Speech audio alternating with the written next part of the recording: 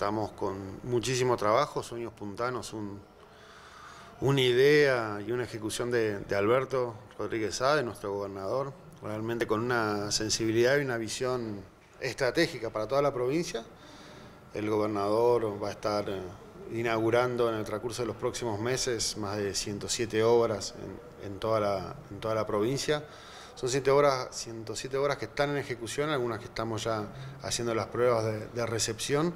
Es un ritmo de obra impresionante, es la provincia que más obra pública tiene, es el, gobernador con más obras en ejecución en todo el territorio nacional, una crisis donde la construcción ha caído más de un 20% interanualmente a nivel nacional.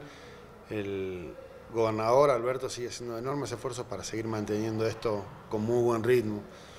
Las obras abarcan desde lo más variado, temas sensibles todos, temas de, prioridades que plantea Alberto, desde obras de 500 kilómetros de, fibra óptica para la interconexión y todo lo que significa la interconexión de velocidad de Internet, no solamente para la parte recreativa, sino que también están relacionadas directamente a lo que es la interconexión con las escuelas, con los hospitales, con las comisarías. Hoy estamos viendo cómo distintos hospitales tienen... Em, conferencias o interconsultas a través de, estas redes, realmente son herramientas importantísimas. La parte de recreativa, con más de 34 plazas o centros de esparcimientos distribuidos en toda la provincia. La parte de, viviendas, el único plan de viviendas que está hoy por hoy en ejecución en la Argentina es el de Alberto.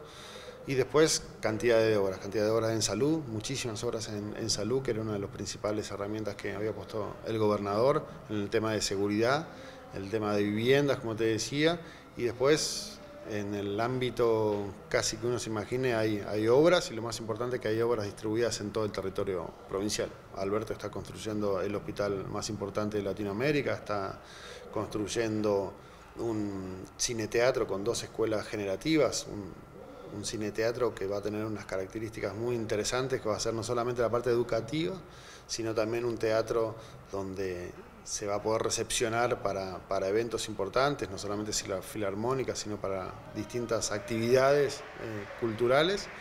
Después estamos próximos ahora, esta semana empieza también lo que es la finalización de lo que el hotel teatro, el hotel de La Recoba, enfrente al Cabildo, dando a esta idea estratégica del gobernador del turismo histórico que se está haciendo en, la provincia.